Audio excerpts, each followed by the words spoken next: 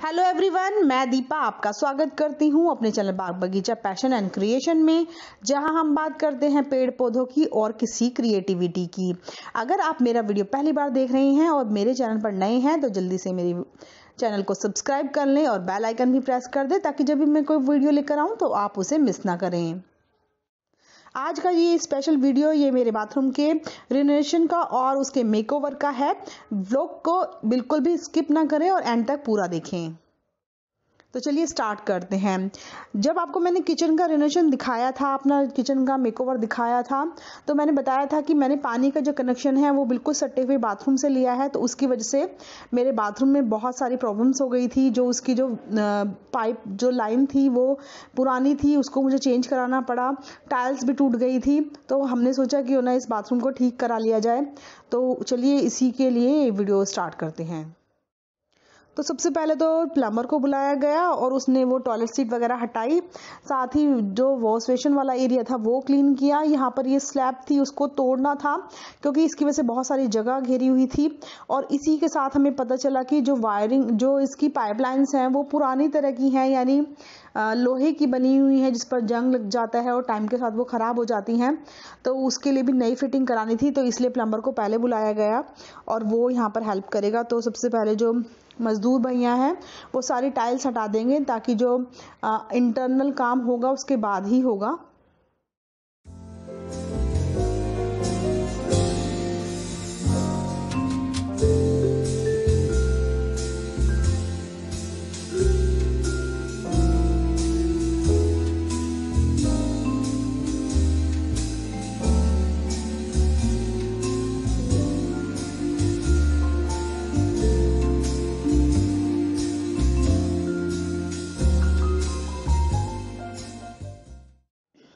और यहाँ पे मैंने और मेरे हस्बैंड ने इस तरह की टाइल्स सेलेक्ट करी हैं। आप लोग कमेंट सेक्शन में ज़रूर बताइएगा कि ये वाला सिलेक्शन आपको कैसा लगा। सामने की जो दीवार है, वो बहुत लाइट शेड में है और उसमें मार्बल जैसा डिज़ाइन है और जो साइड की तीन दीवारें होंगी आमने सामने की, वो थोड़ी डार्किश में है चॉकलेटी टाइप सा उसका कलर है और ये थोड़ा सा अलग लुक होगा कि एक दीवार थोड़ी सी लाइट होगी और तीन दीवारें डार्क होंगी।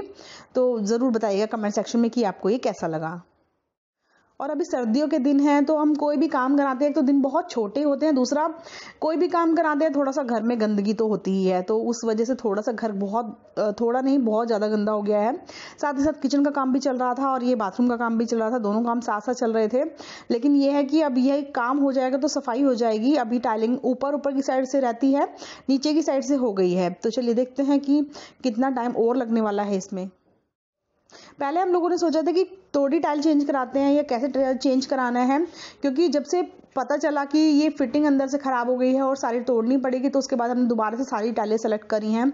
अब हमें जाना है कि बाथरूम के लिए एसेसरीज लेने, देखते हैं कि कैसे क्या समझ में आता है क्या क्या चीज़ें परचेज़ करेंगे, कुछ समझ में आता भी है कि नहीं आता है तो चलिए मार्केट चलते हैं।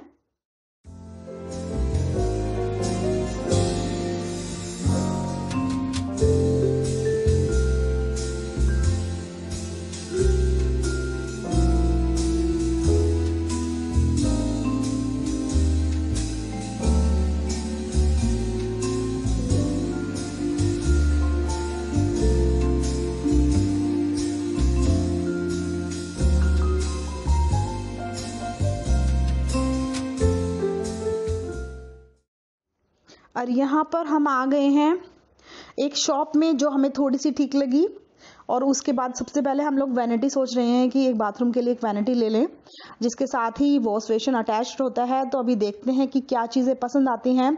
मिरर भी परचेज़ करना है और भी सारी, कई सारी एसेसरीज़ लेनी है टावल स्टैंड भी लेना है। तो चलिए देखते हैं। आप भी साथ बने रहिएगा कि क्या क्या परचेज़ करते हैं।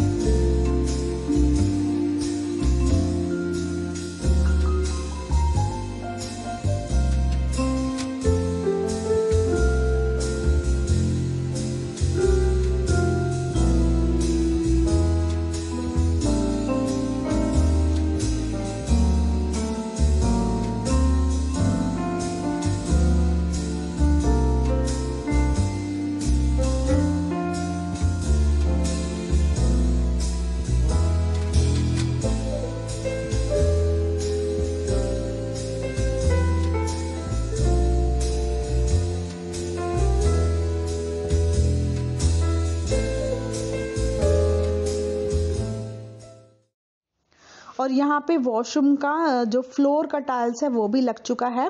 और ये सिलेक्शन मेरे हस्बैंड की पसंद का है क्योंकि उनको इसी तरह की टाइल्स पसंद थी। पहले मैंने बोला था कि वो रफ़ टाइल्स सेलेक्ट करें, लेकिन उन्होंने बोला कि ये रफ़ भी है और शाइनी भी है। तो इसमें दोनों ही क्वालिटीज़ हैं तो उन्होंने ये वाली टाइल्स सेलेक्ट करी है। बहुत ही अच्छी है और बड़े साइज़ में है तो इसलिए भी अच्छी लग रही है। तो बात करें अभी स्केटिंग की तो स्केटिंग अभी नहीं लगी है। वो बाद का काम है और उसमें ऊपर तक काम अभी हो ही रहा है। साथ में नल भी लग गया है और बात करूँ इसकी तो शावर भी लग गया है दोनों चीज़ें लग गई हैं और एक ही टैप से दोनों सारे काम हो जाते हैं।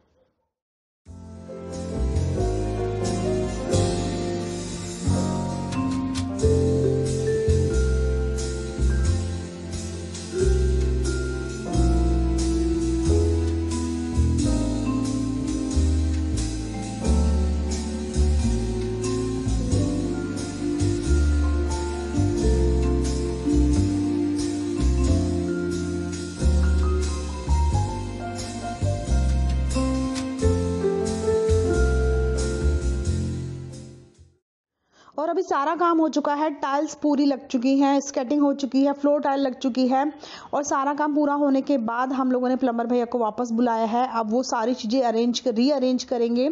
जैसे टॉयलेट शीट लगाएँगे साथ ही वैनिटी को एडजस्ट करेंगे उसके अकॉर्डिंग लगाएँगे न, फिटिंग के अकॉर्डिंग नल वगैरह सब कुछ फिटिंग करेंगे। तो इसीलिए उनको अभी बुला लिया गया है क्योंकि काम लगभग लगभग फिनिशिंग का तो ख़त्म हो ही चुका है। सिर्फ़ अभी ये प्लम्बिंग वाला ही काम बचता है ये सारी फिटिंग हो जाएगी। तो उसके बाद ये कंप्लीट हो जाएगा। तो मैं आपको यहाँ पे फाइनल दिखा देती हूँ कि कैसा बना है। लाइटिंग वगैरह दो दो लाइट लगाई हैं। यहाँ पर साइड में गीज़र हो गया है। पहले भी यहीं पर था और मिरर का कनेक्शन भी यहीं से गया है। आ, सब कुछ सब फाइनल है। अब मैं आपको फाइनल लुक दिखा देती हूँ इसका कि अब ये कैसा बना है।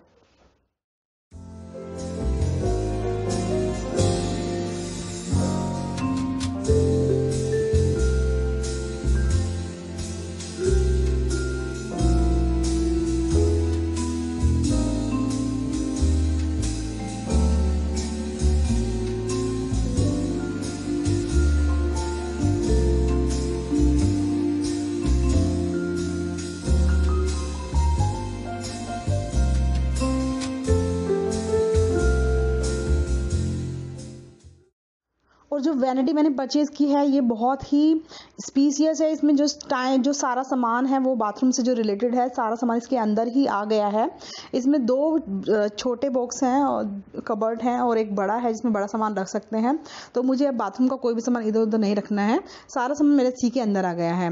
और साथ ही जो मैंने आपको यहाँ पर एक वुडन पीस भी दिखाया था, वो भी मेरी पसंद से बना हुआ है, जो देखने में बहुत ही अट्रैक्टिव लगता है और बहुत ही अच्छा लगता है। तो इस तरह से छोटी छोटी चीज़ें अरेंज करा के बाथरूम को एक नया लुक क्रिएट करने की कोशिश की है। और मुझे लगता है कि आप लोगों को भी ये बहुत अच्छा लगा होगा। अगर पसंद आया है तो मेरी वीडियो को लाइक ज़रूर करें, अपने फ्रेंड्स का शेयर भी कर सकते हैं। कमेंट सेक्शन में ज़रूर बताएँ कि आपको ये कैसा लगा। और आप मुझे सोशल मीडिया पर भी ज़रूर फॉलो कर लीजिएगा, जिसका लिंक मैं डिस्क्रिप्शन बॉक्स में दे रही हूँ। साथ ही मुझे पर्सनली कनेक्ट होने के लिए इंस्टाग्राम पर भी ज़रूर फॉलो करें, जिसका लिंक भी मैंने इंस्टाग्राम पर दे दिया है।